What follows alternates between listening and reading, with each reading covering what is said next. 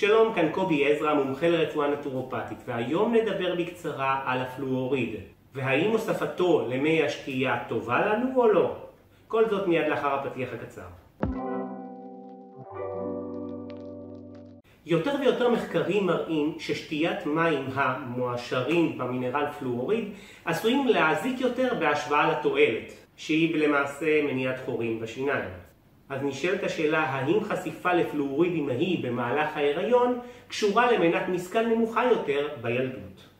מחקרים אחרונים מצביעים על כך שצריכת מי שתייה המכילים פלואוריד פוגעים במוחם המתפתח של תינוקות עוד ברחם אימם.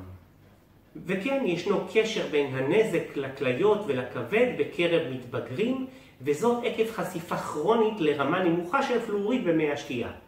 כלומר, שחשיפה ארוכת טווח למי השתייה, גם אם היא ברמה מאוד נמוכה באופן יחסי, עשויה לפגום בתפקודי הכבד והכליות התקינים. אך יש לציין עובדה יותר מדאיגה מהמחקרים הנ"ל שנעשו תוך כדי שימוש ברמות פלואוריד מקובלות, אוקיי? נורמליות, מה שנקרא במרכאות נורמליות של פלואוריד במי השתייה, שכיום נקבעות על כ-0.7 מיליגרם לליטר מי שתייה.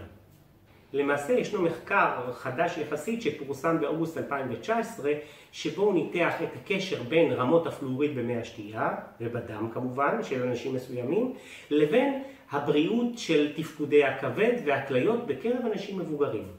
והחוקרים מצאו קשר מטריד בין חשיפה כרונית לפלואוריד במי השתייה הציבוריים, לבין שינויים מורכבים בתפקוד הכבד והכליות באנשים צעירים.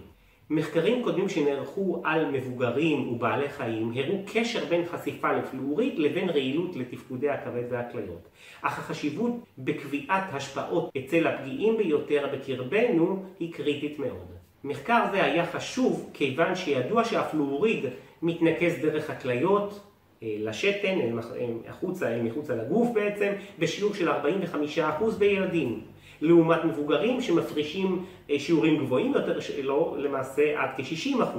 כך למעשה ניתן להבין שילדים אה, חשופים יותר לפלואוריד וגם יותר לתגובות הרעילות שלו, גם לכבד, גם לכליות, גם כנראה למערכת העצבים ולמוח, וסבירות גבוהה יותר להיתקל או ליצור נזק בתפקודי הכבד והכליות. בעיקר כשמדובר כמובן על אה, שימוש כרוני מתמשך במי שתייה שמכילים הרבה פלואוריד.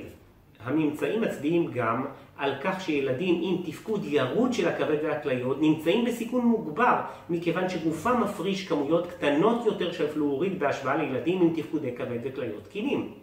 כאשר תופעות הלוואי האפשריות הן נזק למערכת הכליות, נזק לכבד, תפקוד לקוי של בלוטת התריס עקב תחרותיות עם היתר המינרלים כמו יוד למשל שחיוני לתפקוד בלוטת התריס, ליצירת ההורמונים T3 ו-T4, טריודוטירונים וטירוקסין, מחלות עצם, מחלות שיניים ופגיעה בחילוף חומרים של אנזימים חלבוניים. צוות המחקר הצהיר במאמר שפורסם בכתב העת ג'אמה פדריאטריק כי למיטב ידיעתנו מחקר זה היה הראשון שהעריך את החשיפה לפלואוריד בקבוצת לידה גדולה המקבלת מים פלואורטיביים באופן אופטימלי. ממצאי המחקר הנוכחי תואמים גם במחקרים אקולוגיים שהראו קשר בין רמות גבוהות יותר של פלואוריד, כלומר לחשיפה גבוהה יותר של פלואוריד, לבין יכולת אינטלקטואלית נמוכות יותר בילדים. כלומר, ככל שהחשיפה לפלואוריד הייתה גבוהה יותר, ככה הרמה האינטלקטואלית של ילדים הייתה נמוכה יותר. באופן קולקטיבי ממצאים אלה תומכים ומראים שחשיפה לפלואוריד במהלך ההיריון עשויה להיות קשורה לגירעון נוירו-קוגנטיבי.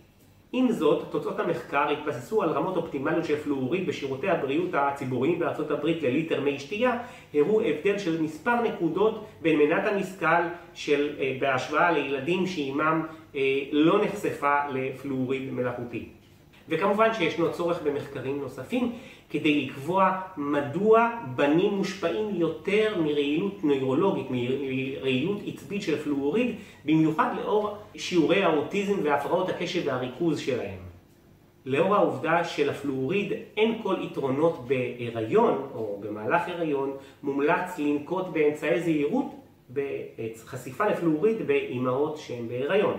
אך לא כולם מסכימים. המאבק בשאלה האם יש להוסיף פלואוריד למי השתייה הציבוריים הוא מאבק רציני, הוא עדיין הוא אמנם התחיל משנות ה-70 ולפני אפילו, אך הוא עדיין אה, לא מקובל על כולם. למעשה, בתחילת המאה ה-20 מדענים יצרו את הקשר בין פלואוריד באופן טבעי שמסופק על ידי המים לקהילה, לקהילות מסוימות, ושיעור נמוך יותר של עששת השיניים, כלומר של חורים בשיניים.